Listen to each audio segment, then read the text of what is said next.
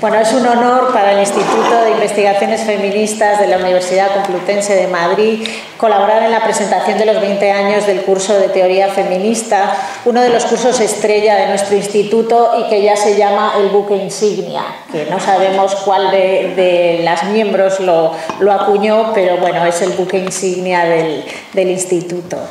Eh, Celia, como sabéis, fue la primera directora de un instituto que fue forjado por un grupo de mujeres hace 21 años, este año, eh, que se atrevieron a pensar en femenino y desde el punto de vista feminista y a introducir la igualdad en una universidad que hace 20 años, a comienzos de los años 90, se atrevía levemente a introducir los modos democráticos y en ese sentido este grupo de mujeres, entre las que se encontraba Gloria Mielfa, Mari Carmen García Nieto, Cristina Segura, Concha Fagoaga, pensaron que la democracia no podía ser democracia si no era en igualdad. Celia no dudó un momento en asumir los retos de dirigir nuestro instituto y el término feminista que aparece en el nombre de nuestro instituto es una de las características que nos identifica y se le debe a ella. Eh, yo creo que en el panorama nacional es el único ¿no? de los pocos que se identifica como un instituto de investigaciones feministas. Eh, desde hace 20 años, un poco más que la existencia del curso que ahora celebramos, el Instituto se ha ido nutriendo de personas, ideas y proyectos y hemos ido renovando las generaciones. Celia supo transmitirnos el modo en el que, como ella, concebimos el feminismo, como pensar, como decía Ana, analizar y reflexionar unido indisolublemente a un proyecto social y político, es decir, un pensamiento encarnado en una acción.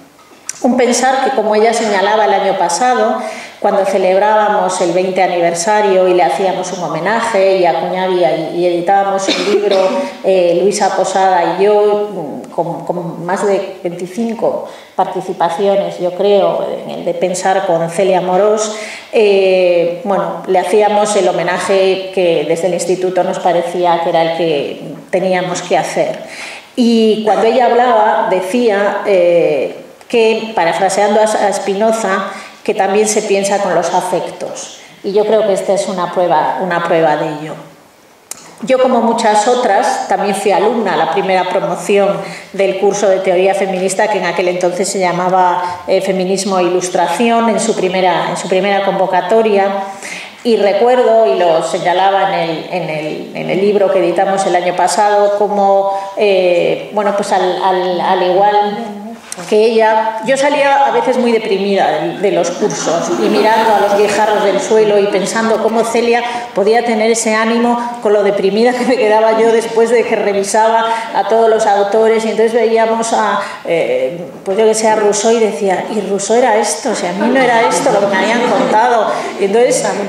bueno, a veces mm, me, dejaba estupefacta, yo creo que debí de haber dos veces la boca en el curso de, de feminismo e ilustración y, la verdad es que una de las cosas que ya no lo digo como, como directora del Instituto de Investigaciones Feministas, sino como, como, profesora universitaria, es que para mí ella, además de todo lo que yo aprendí en aquel, en aquel curso, en aquel largo curso de seminario de ilustración que nos dejaba todas extenuadas y ella crecía a medida que nosotros la endirecíamos, eh, fue un nuevo modelo de profesora universitaria que yo jamás había visto en mi, durante mi carrera. Es decir, mm, para mí, y eso sí que es ver el ejercicio de la genealogía encarnada, como decía eh, Ana, era ver bueno, un modelo a seguir en el sentido de que podían existir profesoras en la universidad eh, que unieran pensamiento y valentía intelectual, eh, que unieran rigor intelectual absoluto. Yo muchas veces la, comparaba con una microcirujana o con una patóloga que sacaba los tumores parecía que caía la sangre de, cada, de, cada, de cada, análisis que, que ella hacía